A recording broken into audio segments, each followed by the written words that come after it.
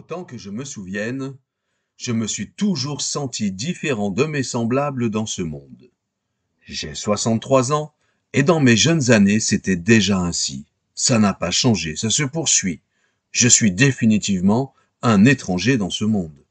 Il n'y a qu'un groupe d'individus qui me fait sentir que je suis chez moi, et ce groupe, je le rencontre partout sur la terre. C'est comme un royaume céleste dans les royaumes terrestres. Ces gens-là ne font que parler d'un endroit de félicité, où le loup habite avec l'agneau, où la panthère se couche avec le chevreau, et un petit enfant les conduit. Ils parlent d'une cité céleste qui a de solides fondements, celle dont Dieu est l'architecte et le constructeur. Ils n'ont pas de cité permanente, mais ils cherchent celle qui est à venir. Bien que de différentes nations de par leur naissance, ils se réclament d'une descendance spirituelle nombreuse comme les étoiles du ciel et comme le sable qui est sur le bord de la mer, innombrable. Ils sont tous fils d'Abraham. Il y a environ cinq mille ans, survint sur la terre un déluge qui engloutit toute vie, excepté un homme nommé Noé, qui eut foi en un avertissement divin et construisit une arche pour sauver sa famille.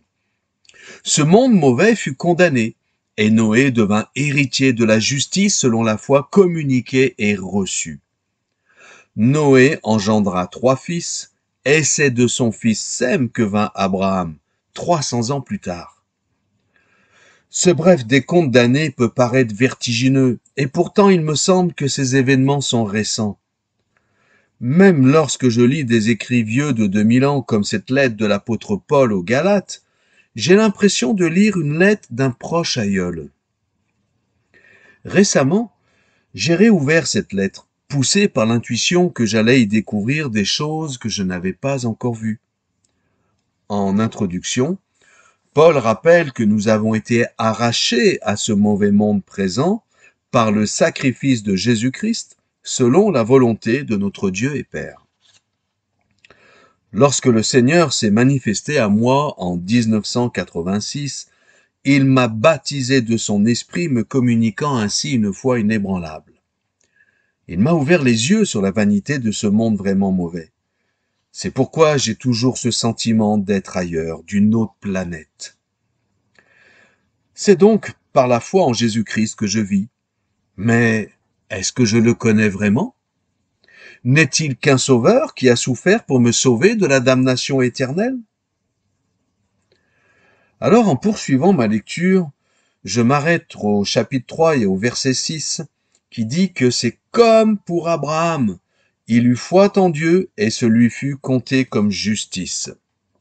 L'apparition de ce personnage m'a intrigué. Pourquoi Paul parle-t-il de ce lointain aïeul? Quel rapport avec le Christ Sauveur? C'est un peu plus loin que Paul explique que par le moyen de la foi, nous avons reçu l'Esprit promis grâce à la bénédiction d'Abraham qui est parvenue à ceux des nations qui ne sont pas juifs. Hmm. Une révélation se fait jour. Ainsi, ma foi ne remonte pas seulement au sacrifice de Jésus, mais à 2000 ans encore plus tôt. Oh oui, c'est vertigineux. Car l'apôtre Paul est très clair, puisqu'il déclare ensuite que c'est à Abraham qu'ont été faites les promesses et à sa descendance, c'est-à-dire Christ.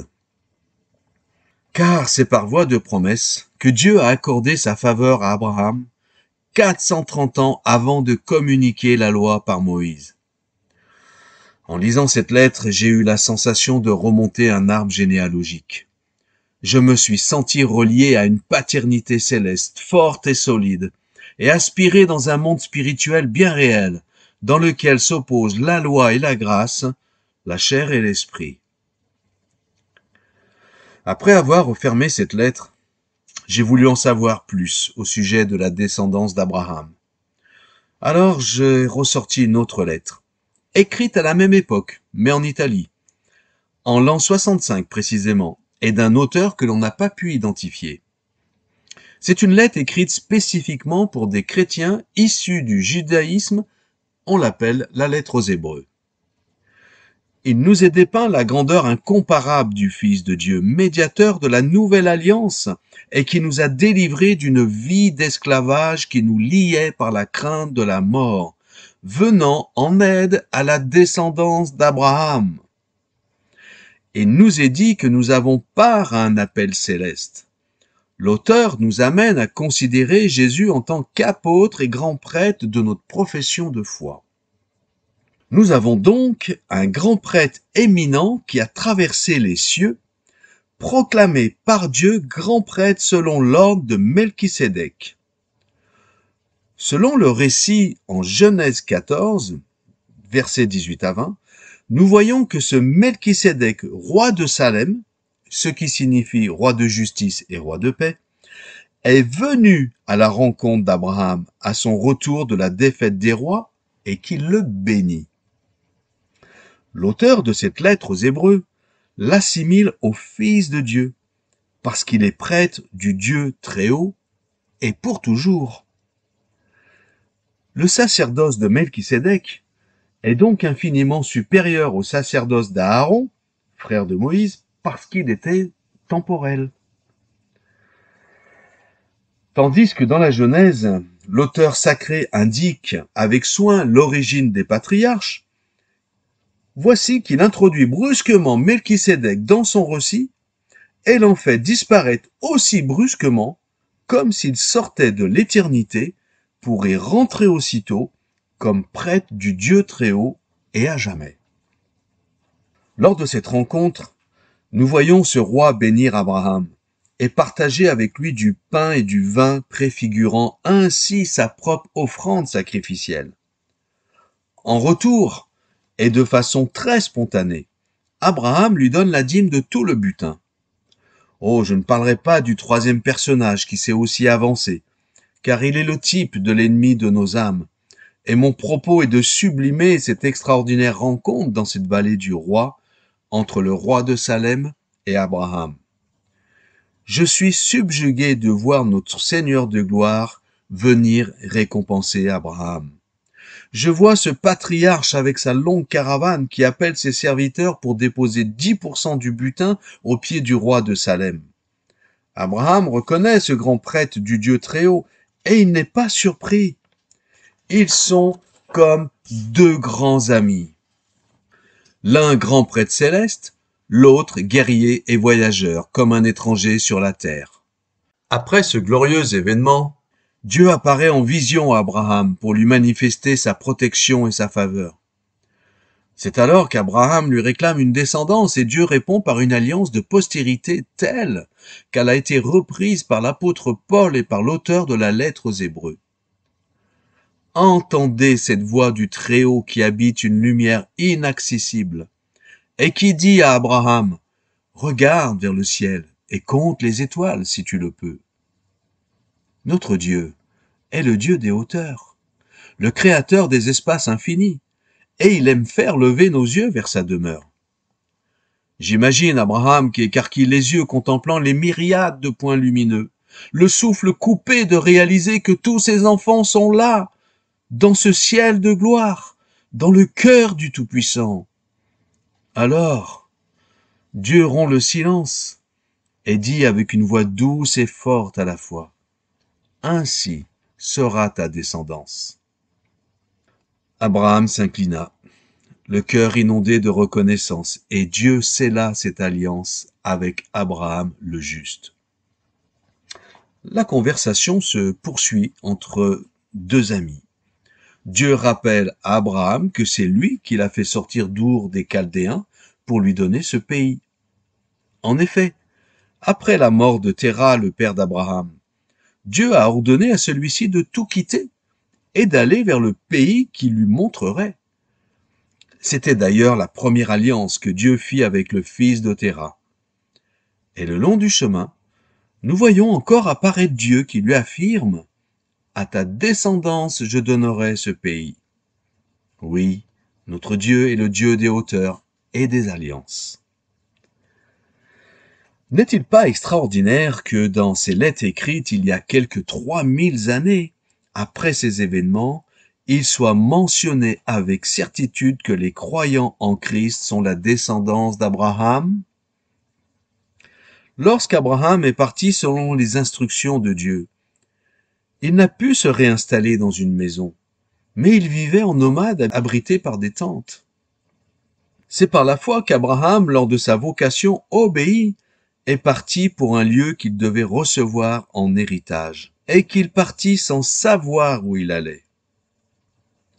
C'est par la foi qu'il vint s'établir dans la terre promise, comme dans une terre étrangère, habitant sous des tentes, ainsi qu'Isaac et Jacob, les cohéritiers de la même promesse. Car il attendait la cité qui a de solides fondements, celle dont Dieu est l'architecte et le constructeur. Il est évident que si Abraham attendait, c'est qu'il avait vu cette cité. Non seulement il a vu cette cité, mais il a rencontré son roi qu'il a appelé à vivre séparé du monde, c'est-à-dire saint, afin d'être prêt à entrer dans cette sainte cité céleste. Après avoir lu attentivement ces anciens écrits, j'ai compris que la paternité céleste se manifeste au travers de ce patriarche. Une multitude d'idées foisonnent dans mon esprit. L'histoire de Jésus n'a pas commencé à l'an zéro. Jésus n'est pas un simple sauveur. Il est venu au milieu de ce peuple juif dont Abraham est le patriarche, et il se connaissait parfaitement. Oh, ceci m'ouvre un vaste horizon immense, infini. Au travers de ces récits, je peux aisément recouper avec d'autres récits, comme celui de Noé, l'ancêtre d'Abraham, qui fut divinement averti de ce qui ne se voyait pas encore, et qui construisit par la foi une arche pour sauver sa famille. C'est par elle qu'il condamna le monde et devint héritier de la justice selon la foi. Quelques mille ans avant, Mourait Adam terrassé par le cataclysme de la chute Je les vois, ces anges déchus, précipités dans le deuxième ciel et sur la terre, semant une zizanie au milieu de malédictions qui s'étendaient comme des ronces sur toute la terre. Je les vois, ces hommes qui naissent après le déluge et qui désespérément cherchent à assouvir leur soif de paternité céleste. Ils sont aux prises de forces démoniaques qu'ils considèrent comme des dieux et qu'ils vénèrent au moyen d'idoles fabriquées de leurs mains, idoles faites d'or, d'argent, de bois et de pierre, mais incapables de parler, de voir et d'entendre. Ces démons invoqués se jouent des hommes qui périssent et agonisent sans espérance, sans paix, sans repos. Mais je vois ce grand prêtre miséricordieux, est proclamé par Dieu selon l'ordre de Melchisédek, il traverse les cieux pour ouvrir le chemin du salut en faveur de ces hommes maudits. C'est lui, le chef et le consommateur de notre foi, qui a insufflé cette foi à notre Père Abraham, afin d'ouvrir par lui le chemin du salut. Dans sa grâce, il a montré à Abraham cette cité céleste qui nous attend dans les cieux. Il a quitté cette gloire indescriptible et qui ne peut être comparée à nul autre il s'est tellement identifié à notre nature qu'il a été tenté en toutes choses et sans jamais succomber. Car nous n'avons pas un souverain sacrificateur qui ne puisse compatir à nos faiblesses. Au moyen de son sang, nous avons une libre entrée dans le sanctuaire, par la route nouvelle qu'il a inaugurée pour nous au travers du voile, c'est-à-dire de sa chair.